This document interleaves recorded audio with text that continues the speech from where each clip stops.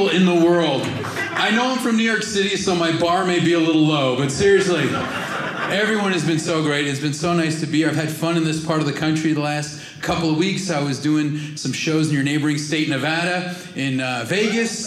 Yeah, and then I was up in Reno, which is the poor man's Vegas. they, they have a very similar slogan What happens in Reno, nobody gives a crap totally different vibe there. My buddy and I were uh, walking into a casino the other day, and there was a guy in front begging for money. He's like, "Hey, fellas, you think you could help me out a little bit? Trying to get a little something to eat. If you could help me out, that'd be great." So I looked at him and I said, "Let me ask you something. If I give you money right now, what's to say you're not just going to run to the casino and gamble it all away?" And he looks at me and goes, "Oh no, no, no! I got gambling money." So it's one of those interesting sounds. But the hotel was was rough because they they were renovating the hotel. It was empty. I felt like I was in The Shining at this place, and they had these guys doing construction eight o'clock every morning all week. I didn't need an alarm clock, a wake up call. Every day I was waking up to.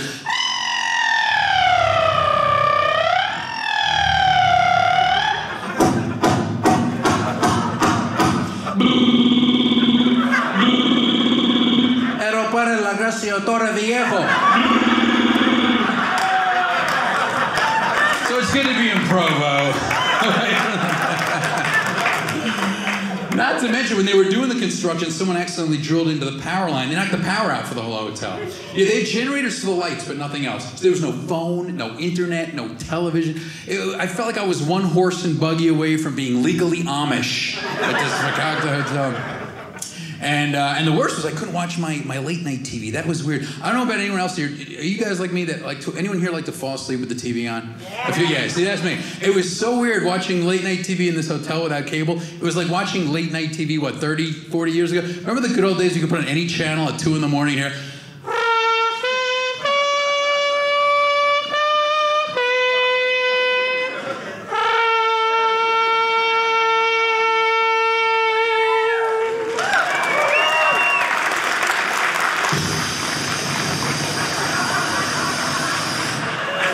Television. They need to bring that back. That's way better than some of the junk they're putting on now, right? These crazy infomercials stuff. I'll tell you though, I've learned that people have very different noise tolerance and stuff, usually based on where they're from. Like New Yorkers, we have a high noise tolerance. We get a lot of noise here. My buddy was making fun of me when I was complaining to him about the construction hotel. Well, he lives in the city. He's got one of those apartments where it's right in front, where they have the elevated subway tracks going by. Yeah, you can't even have a conversation. Hey, dude, what's up? Not much, man. It's funny. I just got back.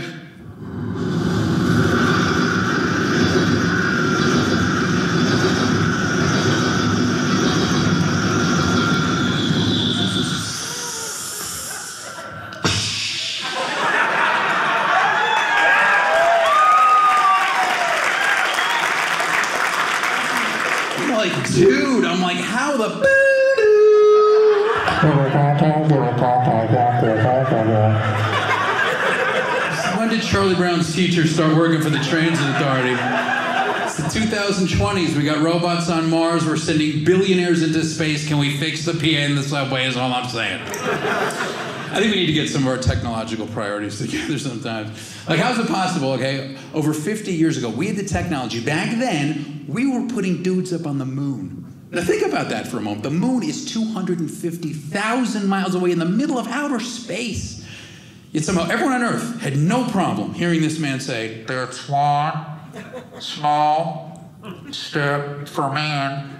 But somehow to this day on planet Earth, not even what, two feet from any drive through is a. How's that possible? Is that, right? An app for that. It happened to me the other day. I pulled up and I was, you know, I was like. Oh, oh, oh, so you know what I do now when that happens to me for real? I talk back to them the same exact way. I sit in the car.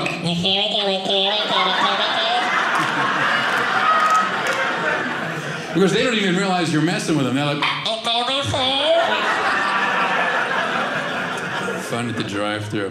You know what else we need to fix technology-wise are the cell phones. They've been out a while. They need to work a little better. My dad called me today. He's in New York, and he called me from his cell. And I always hate when my dad calls me from his cell because he's, you know, it's embarrassing having a dad in prison. And so, just trying to make sure you're paying attention. No, I hate when he calls me from uh, the cell because he's always in his car. And my dad's one of those guys who calls you from his car, but then spends half the conversation yelling at traffic while you talk to him on the phone. He's like, "Hey, Dad, what's up? Yeah, I'm in the car. Did me in? Up yours!" That is not you. This cab just cut me off. You see that idiot? I love when he asks me that brilliant. Goes, Did you see that idiot? Yeah, no, I didn't, Dad, but I think I have to go change my underwear now. Thank you very much. I've told him he can't call me from the car anymore. I've also told him he's not allowed to leave me messages from the car either. That's just as bad because what I'm talking about with all the dropout zones, the signal cuts out and digitized. He wonders why I don't return half his calls. Well, because he keeps leaving messages on my voicemail like this. Yeah, Steve, it's your father here. I'm in the car. Uh, just got to work. Up, up, up, up, and later tonight. So if there's any chance we, it's like up, up, up, up at 8:30 would be great. So can you give me a call? I'll be at 212 and it's not up yours.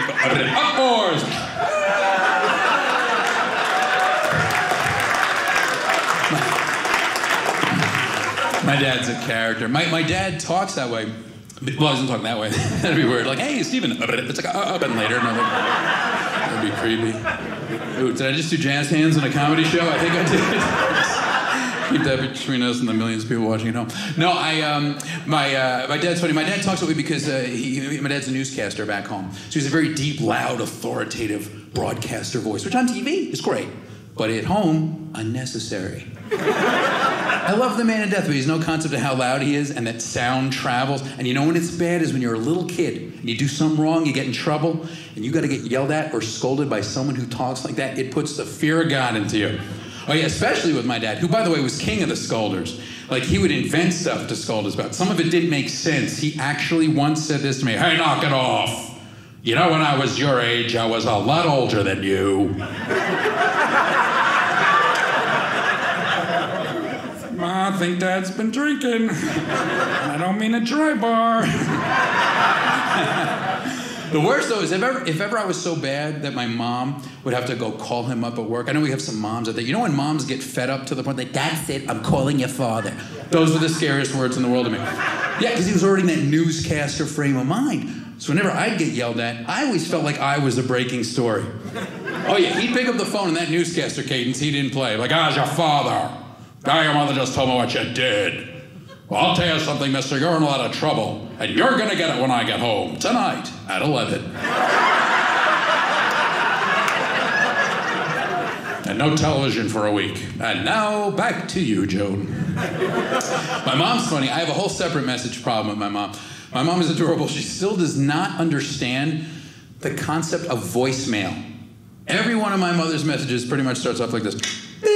Hi, sweetie, it's mom.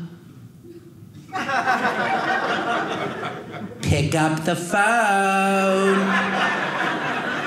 Sweetheart, are you there? It's me. I have a story for you. And then, unlike most people, have you just call them back and then tell you the story? No.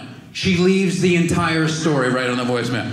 Which, and it's never important stuff. It's always like where she went shopping that day, or she'll leave me medical updates from distant family members I haven't even seen since I'm 12. You know, it makes me miss the good old days when we used to have answering machines, because then I could listen to her messages like this. Hi, sweetie, it's your mother. Remember me? I'm the woman who gave birth to you. It's been three days. I would like to know that you're still alive. Look at me, I'm sitting here and I'm reading through the obituary column. And would you believe I am not seeing your name anyplace, so I'm expecting a call. Love you. Yeah, Steve, it's your father here. I'm in the car. Uh, your mother's calling. I say, I, I, I don't know where you are. So, up oars. Hi, sweetie. Guess who? I love guess who. Like I have no idea. who. The- Sweetie, it's mom. Where are you? It's sister's birthday and everyone's coming. I hope you'll be able to shopping yesterday, and I bought the most beautiful 30% off. I couldn't believe it. And the woman because Aunt Sylvia's stool sample came back from the lab. Doctor he when I was nine.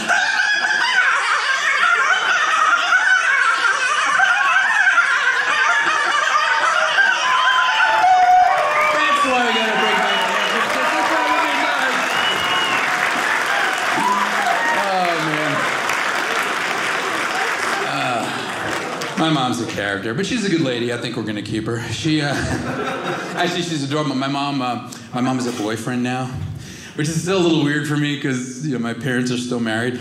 But I uh, just want to make sure you're paying attention. No, uh, but he's he's a big sports fan, and my mother knows nothing about sports. My whole life, this is the woman who would drive me to little league and say, Okay, call me when you're done with baseball rehearsal. like she had no idea. She's one of those people who calls halftime intermission. You know what I'm talking about? She's just like, Okay, I hope you hit a hope you hit a touchdown. It's a home run, mom. But so that's what we're dealing with here. Anyway, so he's a big sportsman, so she's trying to like pretend to like for his interest, but she still doesn't know stuff. So a couple weeks ago, I called. They were watching the, the Yankees game, and the Yankees were playing the Baltimore Orioles. And I called her. She said, Oh, hi, sweetie. It's good to hear from you. Listen, we can't talk right now. We're watching the Yankee game, but I thought you'd like to know that the Yankees are up five to three over the Oreos. Not the Orioles, the bird, the Oreos, the cookie. She thought that was the name of the team. I didn't have the heart to tell her. I was like, oh, that's great, Mom. I'm watching the Mets game. They're tied with the Fig Newtons, so I'm going to get back to that. But I can come over tomorrow and we can watch the Chips Ahoy Mallomar game together. That'll be fun. So she's learning. I was just, uh, I was on a cruise recently. I don't know if you guys have had, oh, you've been on, so yeah, they're fun, right? They're good vacations. I, I was on the biggest one, the biggest ship in North, that had uh, over 6,000 passengers on it. Yeah, you, and plus there's 2,000 crews, so really that's 8,000 people on one ship. Yeah, it really is like a floating city at sea. So you know, you know what a ship may be getting a little too big is when it actually has a bad neighborhood. Okay, I think that's maybe a good time to draw the line. But it's amazing what they have on the ships now. Like if you went on a cruise vacation years ago, you had what shuffleboard, ping pong, bingo. That was it. But today, you go on ships, they have ice skating rinks on the ship, roller coasters, rock climbing, surfing, bowling. The one I was on had this giant street promenade down the middle, but they had like bars and stores on either side, and like homeless people laying around and stuff. And traffic was awful. I couldn't get a cab all week. I think they went a little far when they put the Costco on board. Do we need that on a cruise ship? Thought the Home Depot and Staples were enough, but that's just me. But it's fun. They're fun vacations. I like doing the more exotic. I'm a little jaded with some of the, like the Caribbean cruises. I, I don't know. I don't want to ruin the illusion for those of you who go. But here's here's my issue with the Caribbean cruise. You know when you go on a Caribbean cruise, you know how they take us around like all the different islands. Okay, I'm pretty sure it's only one island. And at night they just take the ship around the other side and change the sign. I'm telling you. Right? You've been on these things. Everyone's like, wow, these ports are like the same. Bingo. Because the cruise lines figure you're having too much fun or drinking too much to give a crap or realize they save gas money, everybody wins. but if you don't believe me, next time you go on a Caribbean cruise, wake up early when the ship is pulling into port and you'll see them out there setting up the sign. They'll be like, oh, the people, no, get not Jamaica, no, give me the Grand Cayman quickly. The people are coming. What's wrong with you? Welcome to Grand Cayman. Grand Cayman. What's wrong with you? Jamaica was yesterday. You almost messed it up, stupid. I confirmed it on my last cruise. I'm like, okay, wait a minute. What are the odds of me having the same cab driver in Grand Cayman that I had three days earlier in Jamaica? Is that possible? Something's fishy, I tell you. Something's fishy. But they're fun. Um, they're fun too. Uh, I like doing the more exotic cruises though. Like uh, sometimes we go to ones that go to uh, go to Europe and stuff. Those are fun because you go up, you do the Baltic or you do the Med. The Baltic's fun because we usually go to like Amsterdam and, and we went last time I went we went to Belgium. That was nice. Those waffles are awesome. Uh, Brussels sprouts not so much. They still suck. But they do have an interesting language that they speak in Belgium called Flemish. Now, I was not aware this was a language, but I'm pretty certain my grandfather was fluent. Because all I ever heard the man say was,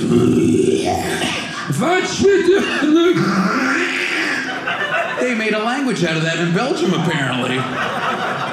Wish I could have sent Granby Dave there. He would have made some new friends. He would have loved it. So yeah, you do that. and You go up to Scandinavia and Russia. It's a nice cruise. But I like the uh, Mediterranean is fun too because the Mediterranean you get to go to Spain, France, and Italy. I always love Italy. Italy is one of my favorites. It was weird the first time I ever went to Italy. I did not realize that apparently my New York City street Italian does not translate at all over there. I didn't know. I'm walking around trying to talk to people, going, "Hey, paisano." I don't want you jerking me around. Gabish. They didn't know what the heck I was on. See, apparently they never got the Sopranos in Italy, I found out. But speaking of which, parts of Italy still do have that very old school, fabled mafioso feel going on. Because we took the ship down to Sicily. Sicily is like walking into the movie The Godfather. You step off the ship, you can even hear the music. It's like.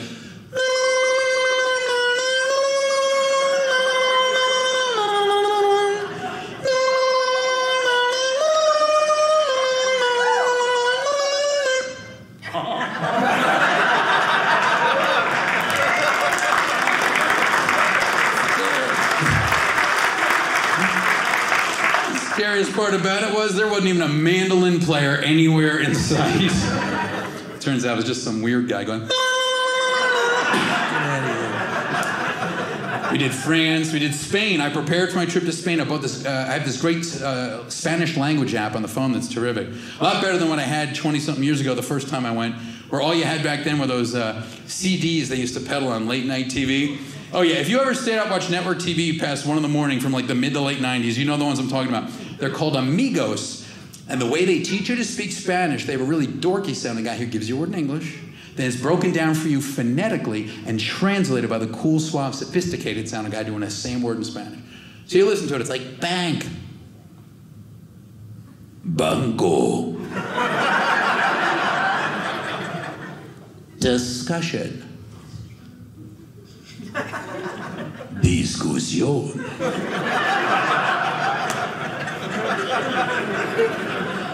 Public.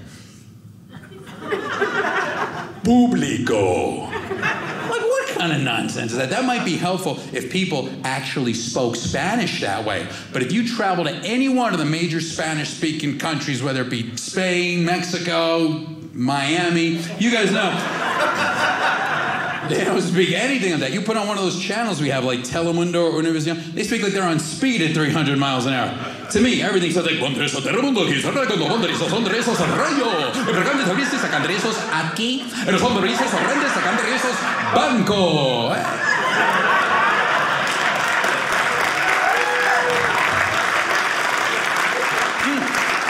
Yo comprendo el banco. See, that's the best way to learn Spanish. You don't need the apps or the CDs. Watch the Spanish channel for two, three weeks. You'll figure it out. Especially if you watch Spanish news. That's always the easiest to follow because it seems like they can never get through a sentence without saying something you know that you will be able to recognize. You turn on, you'll see the newscast like, Buenos asienta que su sobrizo contra candaresos el presidente Joe Biden. It's like, oh, hey. You know what they're talking about the press. Yeah, I understood because I speak Spanish now. I'll tell you, that's actually where I get all of my political news from, the Spanish channel. It is so much better when you don't understand it. Oh, was- that's also the best uh, part about taking a cruise is for one week you get away from all the news, the politics, all the crazy. It's like the best vacation in the world, right? Yeah. The best time to take a cruise the week before any election. Book it now, you will thank me. Early November, end of October, because you get away from all those annoying commercials. You guys don't have it quite as bad. I live in New York City, it's called the tri state area. So when we have elections, we have to listen to three times the amount of annoying campaign commercials from candidates from New York, New Jersey, and Connecticut. Here you just have Utah. You know the commercials I'm talking about.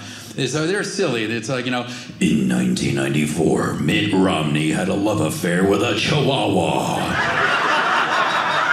Is this the kind of man you want as your senator? This message sponsored by the people who love chihuahuas. You've seen them, they're so stupid. I'll tell you something, I'm surprised they don't enforce the same law for the campaign commercials that they do for the prescription medication commercials. We're halfway through they have to include a disclaimer listing the side effects of all the crap that might go wrong if you vote for that candidate. Wouldn't that be so helpful? Instead of hearing, Hi, I'm so and so and I approve this message, no, I'd rather hear, if you vote for this candidate, you may experience bouts of upset stomach, nausea, vomiting, dizziness, rash, chills, fevers, swelling of the tongue or throat, higher taxes, a deficit, depression, nightmares, thoughts of suicide, increased bowel movements, and you need to have them until to control them. If you have an election that lasts more than four hours, be sure to call your congressman immediately. That's what I'm talking about. We could do it. And while we're at it, we should revamp the entire electoral process because it's, it's, it's basically become an 18 month reality show, right? And we have shows like that for chefs, comedians, bachelors, singers. Why can't we just do that for candidates for office, right? You want to schlep to the polls and mail in ballots. You just get like Ryan Seacrest to host it, throw in a Kardashian or two for good ratings, give it a snazzy title like, you know, Presidential Idol or America's Got Candidates, you know? Primaries would be so simple. Candidates would come out, they get two minutes to give a speech, and when they're done, they'd have to get critiqued and voted on by the panel of celebrity judges. How fun would that be to watch? Like Bernie Sanders to come out, you get Chris Wallace from Fox News moderating. Senator Sanders, is a Jewish person running for office, if you're elected president, would you continue the tradition of the Easter egg hunt on the White House lawn? And then Bernie Sanders comes out and says, I, I, I am, of course, Jewish, Chris, but I have no religious objection egg hunt on White House lawn. I would, however, take objection that I am 78 years old and I do not like it when kids play on my lawn.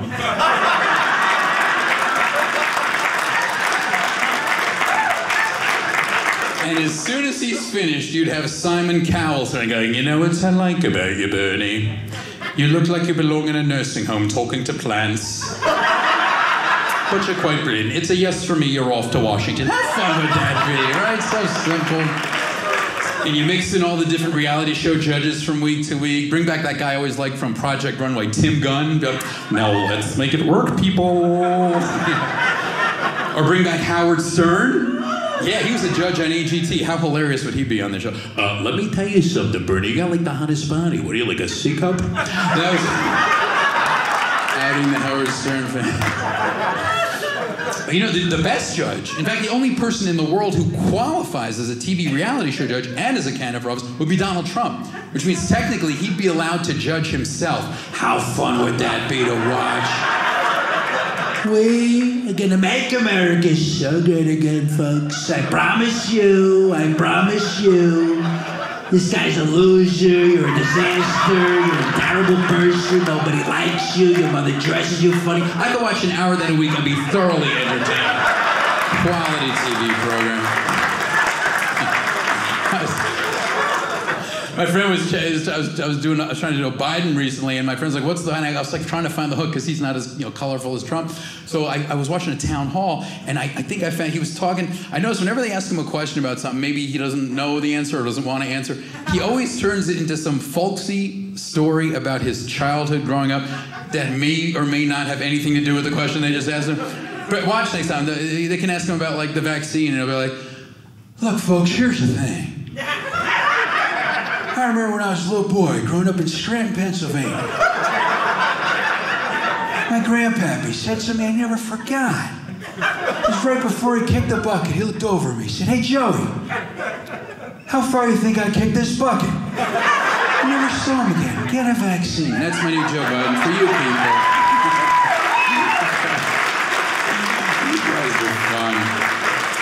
You guys are terrific. I, will I'll leave you with this one last story. How many of you, um, uh, by round of applause, the kind of folks that absolutely positively have to listen to music in your cars whenever you drive? A lot of you out there. Yeah, see, I'm like that too. So I'm, I'm renting a car while I'm here, and uh, they gave me this car um, called a Kia. Are you guys familiar with that car, the Kia? Uh, yeah, I wasn't. I, he said, I thought he said IKEA, and I thought it was going to be a car I'd have to put together myself. So it made me nervous. Yeah, it was a Kia, Kia Carnival.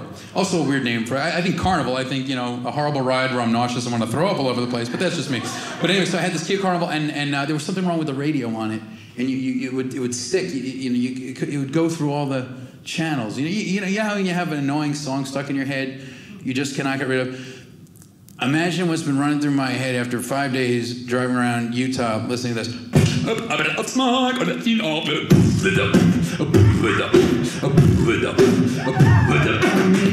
Potential showers later this evening. Right now, temperatures in the mid 60s. Tomorrow, clear skies.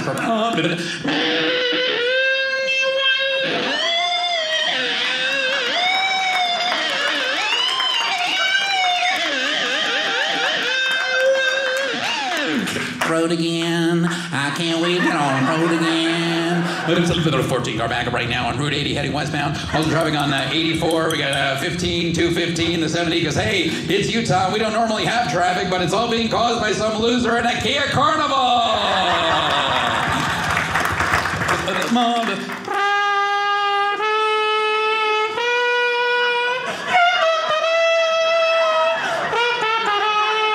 Se siente que abrises banco. Oranges y Joe Biden. WKZY radio. Stephen, it's your mother. Ah! May experience gas with only discharge, increased bowel movement. I'm Donald Trump, and I approve this measure. And he hits from Eastern Field. He's back. He's under the ball, but he drops it because he plays for the Oreos.